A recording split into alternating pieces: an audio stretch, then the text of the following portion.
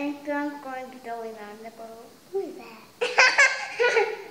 and then Scrum screams. We're just your average family who is choosing to live a not so average life.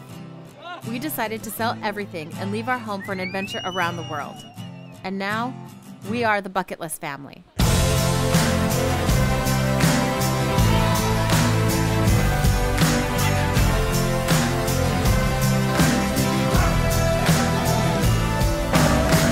Garrett, Jessica, Dorothy, Manila, and Callie.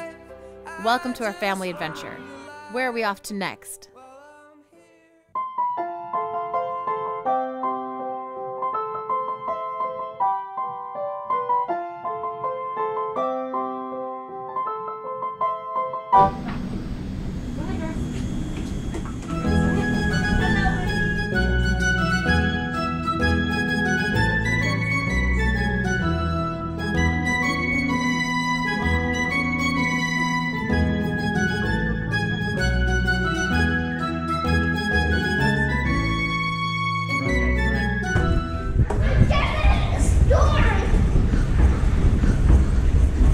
Morning, champ.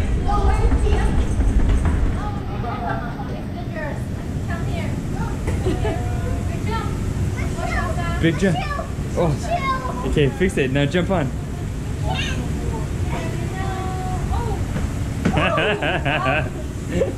he ate it.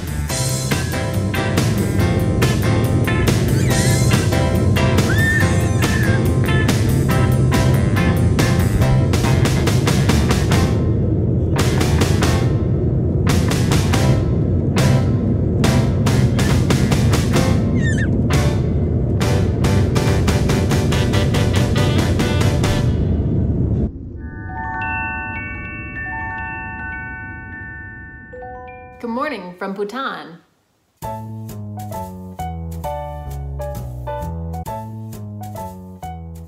So we left California a few days ago, took the long, long journey over to Asia.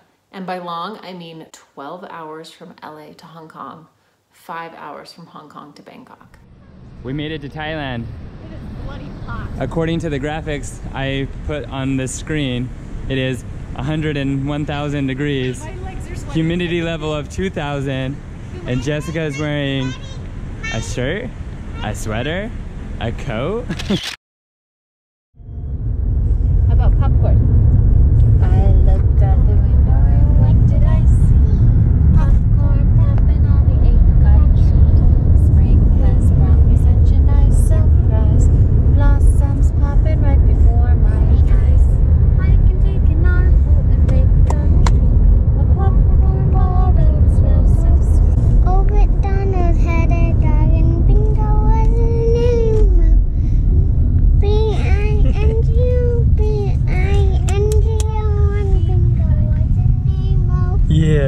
Dorothy, the sun's up. You want to see Bangkok? Yeah. Whoa, that's a lot of cities. Whoa, it's hot. Whoa, look at that, just fog right up. So we had about 36 hours in Bangkok, Thailand. This was our second time to Thailand.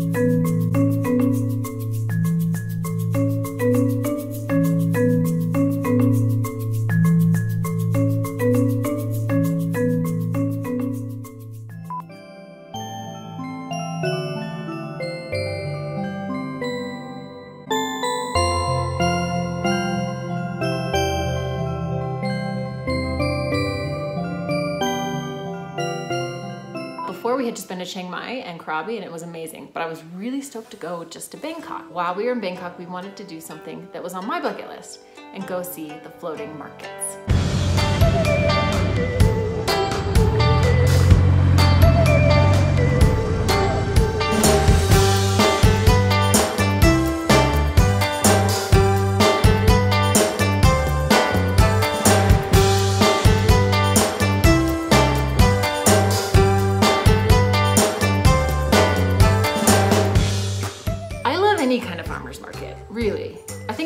Much about a culture, just the way people eat, the way people shop, and the things that they sell.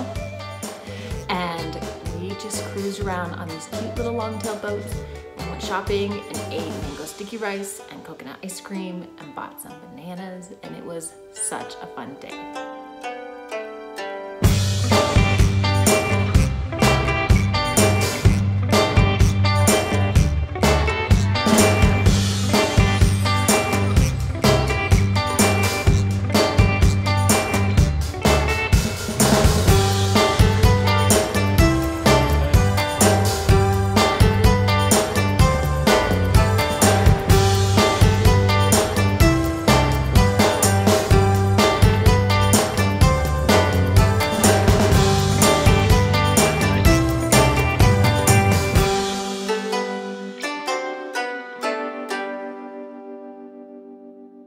Manila has the cutest thing right now. When he asks, how many more bites do I have to take, dad? And Garrett will say, you need to take five more bites or four more bites.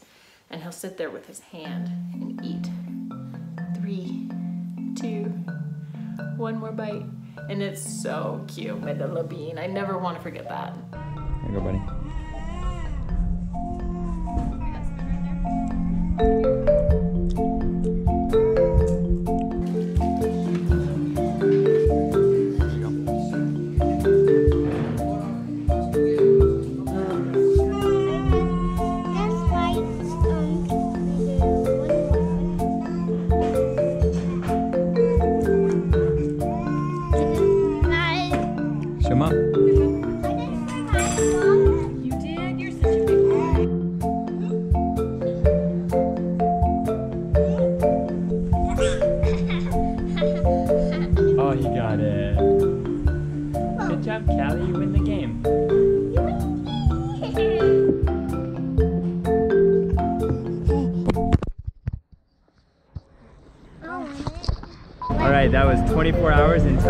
And now we're flying to Bhutan. Bhutan. Hey, Dorothy, come here.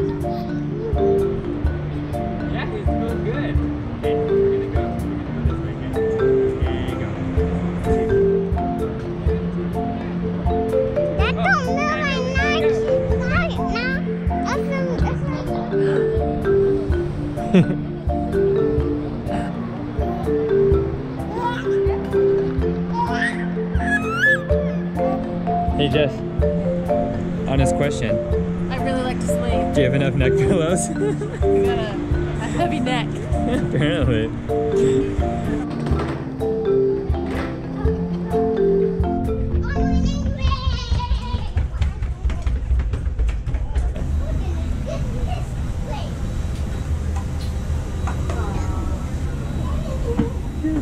There we go.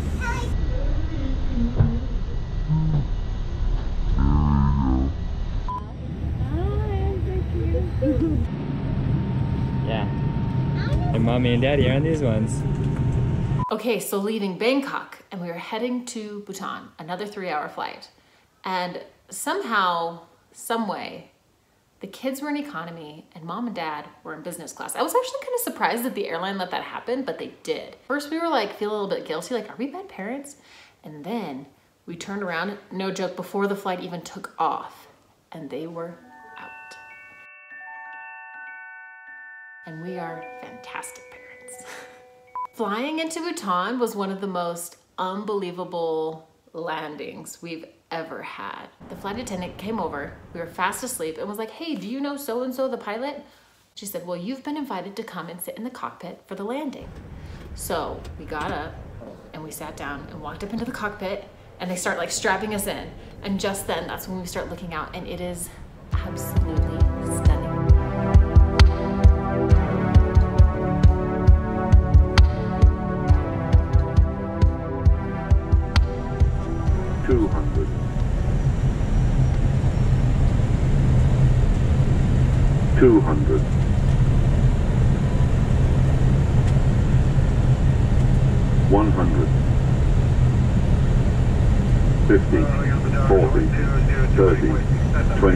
Retard. Retard.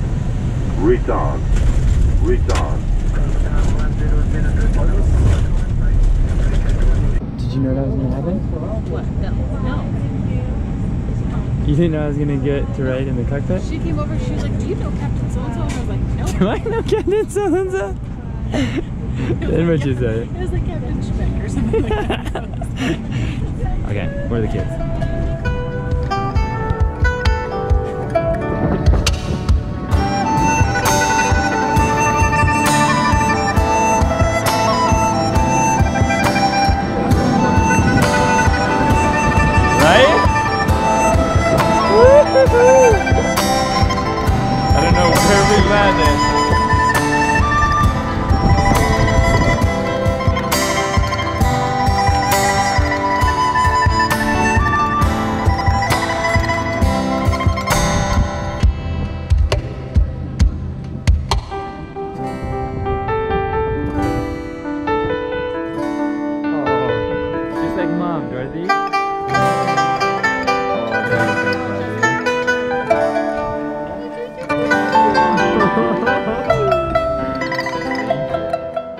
Here's a side note. If you want to come to Bhutan, you have to go through a government registered tour agency. We are working with a tour group called Breathe Bhutan, and they are absolutely wonderful.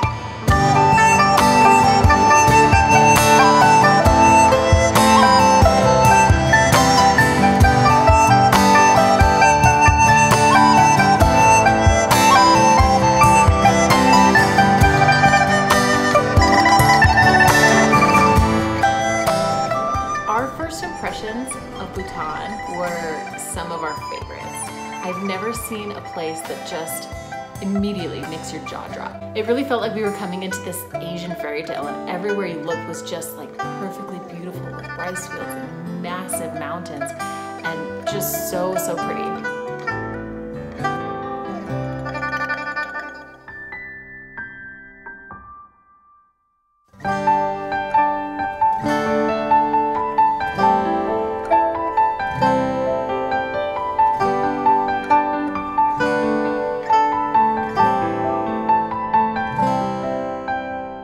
So our first stop was about an hour away from the airport and we stayed at Le Meridien.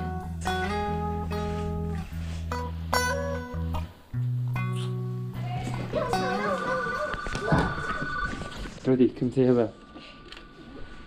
Hello? Le Meridien is a beautiful hotel right in town and some of the most wonderful people. Um, I left my swimsuit out of the country. You left your swimsuit at a different country? Yeah. It looked like you just have to swim naked. or borrow one of my swimsuits. No, buddy, guess what? I have some good news. You left it in the shower, but I grabbed it for you. I have it. Three. It's, it's three. I'm naked. Okay, guys, shh. It's 3 a.m. We gotta wait for the sun to come up, and then we'll go to the pool. Hit the button, hit the button. Oh, I pushed wall. I too did. what?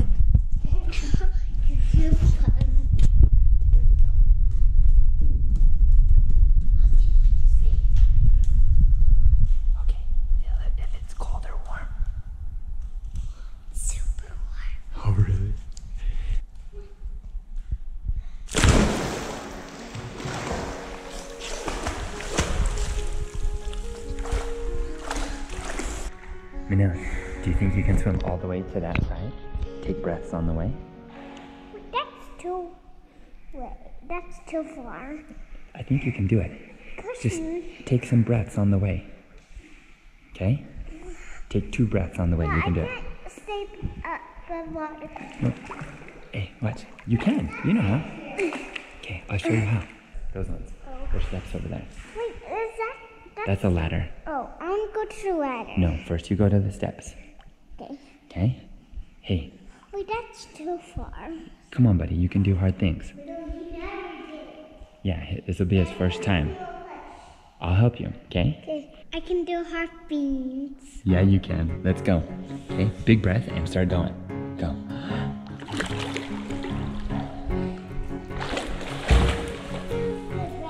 Oh, that was a good breath. Oh my gosh. Oh my gosh. Are you kidding?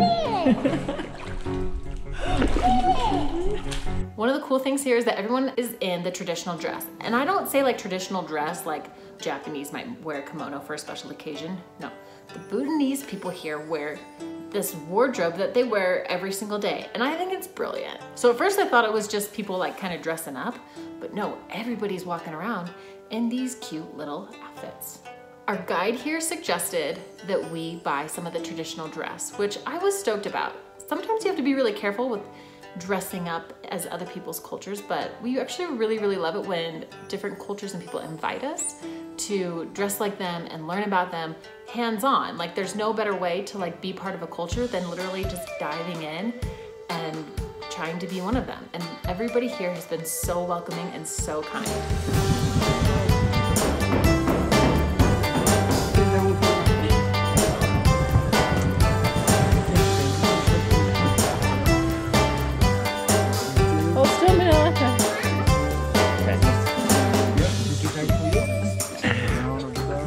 Manila.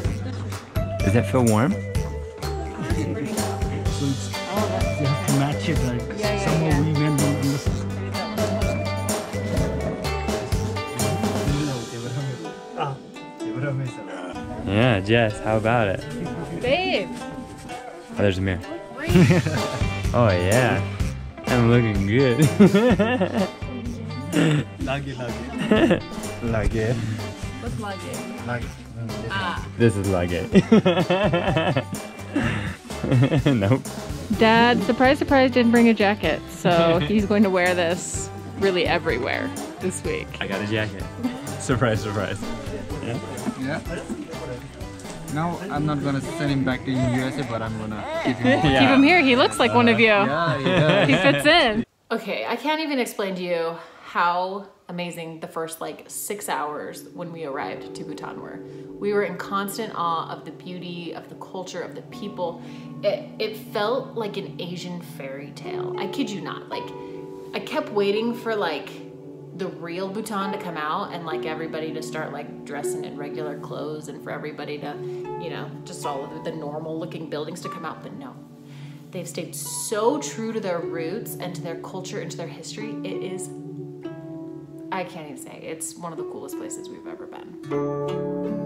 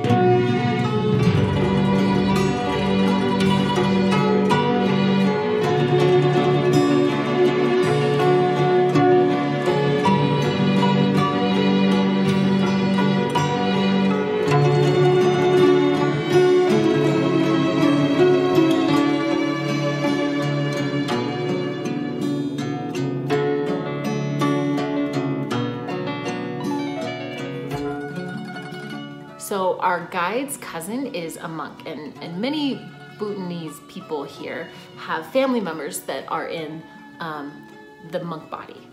And earlier today, uh, our guide had suggested that Garrett and Manila shave their head like one of the monks.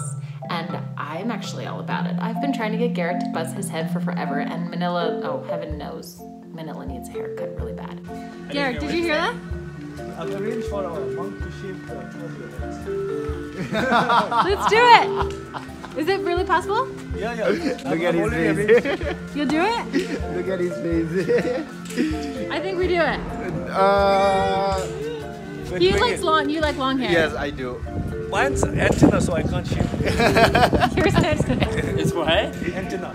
What's that? It's an antenna. Oh, pretty sure mine's an antenna. You guys both need haircuts.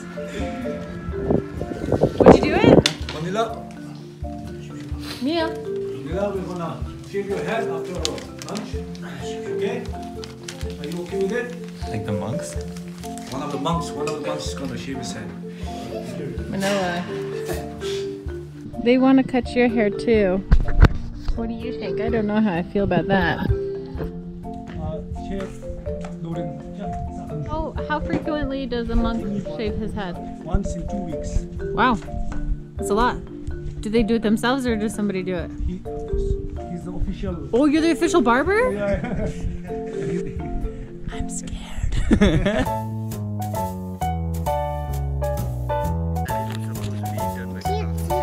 Huh? Turn your camera sideways. There you go.